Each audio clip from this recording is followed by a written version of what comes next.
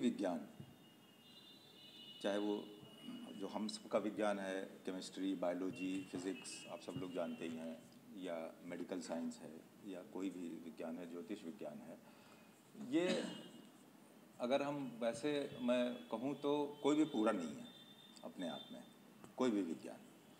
और ज्योतिष की बात हो रही है तो मैं और चीज़ों पे बहुत थोड़ा थोड़ा सा टच करूँगा। मेरे पास शायद सर पंद्रह बीस मिनट का समय तो हो। गई सब समय वाले ही हैं। अच्छा। क्योंकि कई बार बात को बहुत छोटा करने लगे तो फिर वो अधूरी रह जाती है। हालाँकि मैं कोशिश करूँगा पंद्रह बीस मिनट में ख़त्म करने की। ज्योतिष में मेरी कोई बहुत विशेष रुचि नहीं है। मैं सीधी सही बात कहना चाहूँगा। विशेष रुचि नहीं है लेकिन जब ज्योतिष को मैं जिस नज़रिए से देखता हूँ, इसको दो हिस्सों में मेरे हिसाब से अगर मैं बांट दूँ तो एक होता है भविष्य बताना, ज्योतिष द्वारा, कि क्या होने वाला है और क्या है, कैसे होगा। एक तो ये विज्ञान है ज्योतिष का, और दूसरा ये है कि हम सभी जो इंसान हैं ह्यूमन बींग्स तो उनका एक चरित्र बनता है, एक राशिफल होता है, और कि ये इंसान ऐसा है, इसका ये बिहेवियर है, ये तेज़ तर्रार है, ये बलिष्ठ है, वगैरह वगैरह। हमारे बहुत से करेक्टर्स हैं जो कि राशिफल से गवर्न होते हैं।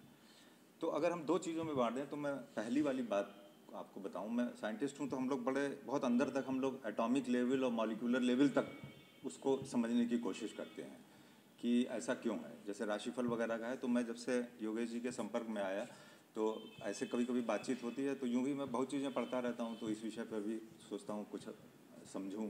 तो मुझे बहुत ज्ञान, बहुत क्या मुझे बिल्कुल ही ज्ञान नहीं है लेकिन मैं जो बात बताने जा रहा हूँ, वो शायद आप सब लोग एग्री करेंगे कि अब जैसे ये हॉल बनाया गया, ये बिल्डिंग बनाई जा रही है तो इसमें नीचे से हम लोहा और सब कुछ लगाते चले आ रहे हैं टाइल बन रही है खम्बा है, सब कुछ है।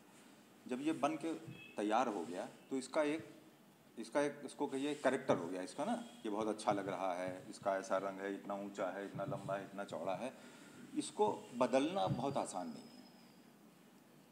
इस इस इस करेक्टर को हम चेंज नहीं कर पाएँगे इसलिए जब तक इसको ध्वस्त ना कर दें। तो मैं इंसानी शरीर को कुछ इसी नज़रिए से देखता हूँ।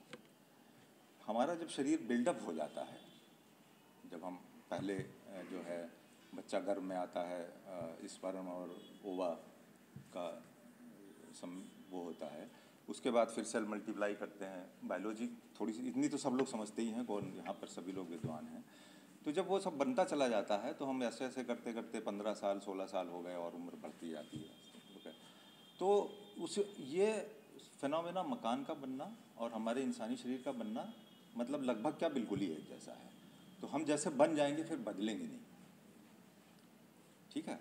हम उसी लेवल तक बदल मतलब उस आयु तक शायद कुछ बदलाव आ सकता है, दस बारह चौदह साल तक, जब तक हमारे और सेल्स हमें जुड़ रहे हैं, हमारे शरीर की ग्रोथ हो रही है। एक सर्टन लेवल पे आके उसके बाद कुछ चेंज नहीं होता। तो जो इसमें मैं राशिफल और उनकी बातों को थोड़ा सा आपको बताना शुरू करूँगा।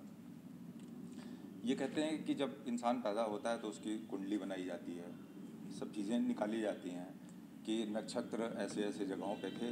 उसको लंबा तो बताना मुझे उतना ज्ञान भी नहीं है, मगर जैसा होता है कि नक्षत्र कहाँ कहाँ पर हैं, ये पर्टिकुलर हैं, उस समय इस इंसान की उत्पत्ति हुई।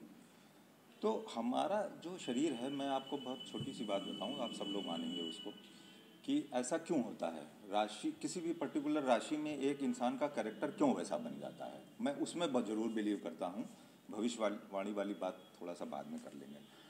कि हमारे जो हम सेल्स हैं, इसको अगर हम बहुत, इसको और और आप नीचे माइक्रोस्कोपिक लेवल और माइक्रो लेवल पे जाएँ तो आप समझ जाएँगे, सबसे छोटी चीज़ होती है सेल है ना? कोशिका जिसको बोलते हैं, और वो सब बनती है बहुत सी चीज़ों से, पानी से, और उसमें न्यूक्लिक एसिड और प्रोटीन और ये वो सब शब्द आप लोगों ने सुने होंगे कहीं ना कहीं। इस सबसे बनता है वो सब एटम एटम सबसे छोटी चीज़ होती है हाइड्रोजन नाइट्रोजन ये सब आप लोग जानते ही हैं। फास्फोरस वगैरह वगैरह, ज़रूर सुना होगा। एस टू ओ पानी हर कोई जानता है। ये सेल का बहुत आवश्यक अंग है। तो जो एटम होता है, उसके अंदर और चले जाएँ अगर हम तो प्रोटॉन न्यूट्रॉन हाइड ये सब भी सुना होगा आप लोग ने इलेक्ट्रॉन तीन चीज़ तो जानते ही हैं। तो हमारा हर सेल जिन चीज़ों से बना है, वो सब एक चुंबक है। हमारे शरीर को इसमें कोई दो राय नहीं है कि चुंबक है, इसीलिए हम लोग को सोने, जागने के लिए बहुत चीज़ें गवर्न की जाती हैं कि हमारी पृथ्वी भी चुंबक है नॉर्थ पोल साउथ पोल सब कुछ। और जितने ग्रह हैं, वहाँ से भी चुंबकीय किरणें आती हैं। तो जब नक्षत्र में सारे ग्रह हैं, और उस समय जब हमारा शरीर बन रहा है, ये सब आइटम्स मिलके ही तो शरीर की उत्पत्ति हुई है ना तो वो उससे गवर्न हो रहे हैं। एक चुंबक है ना नॉर्थ पोल साउथ पोल आप इधर रखेंगे तो अपोजिट को अट्रैक्ट करेगा। इतना सब लोग जानते हैं चुंबक के बारे में। तो उस समय जब ये सब रचना हो रही होती है तो हमारे जो ऊपर से हमें मैग्नेटिक रेज आ रही हैं, उसी हिसाब से हमारे एटम्स एक पहले सेल का निर्माण करते हैं। पॉजिटिव एक तरफ़ निगेटिव एक तरफ़, एक इधर, एक उधर, ऐसे करके। एक एक पहले एक मॉलिक्यूल बना, पानी का बना प्रोटीन का बना, कार्बोहाइड्रेट का बना, इस तरह पहला सेल बना। तो वो वहाँ से गवर्न हुआ। तो इसीलिए जो नक्षत्र एक सर्टन पीरियड तक एक ही स्थिति में रहते हैं, तभी तो वो बनाया जाता है राशिफल कि आपका लियो है, आपका कैंसर है, आपका ये सब है। तो इसीलिए वो सारे लोग जो उस पीरियड में पैदा होते हैं, उनकी संरचना बायोलॉजिकली वो इसीलिए उनके सारे चुंबक जो पहला सेल बनाने में काम आए हैं एटम्स फिजिक्स की भाषा में। वो सब एक तरीके के होते हैं। इसलिए उनके चरित्र उनका कैरेक्टर उनका बिहेवियर सब कुछ एक तरीके का होता है। तो इस चीज़ को आ, मतलब मेरी मैंने जितना भी स्टडी किया मैंने और डीपर भी स्टडी किया इन सब बातों को। तो इसीलिए ये इसमें ये यही ज्योतिष है और जो कि सही है। सब्सक्राइब करें हमारे YouTube चैनल को और हर अपडेट पाने के लिए बेल आइकन को दबाएँ।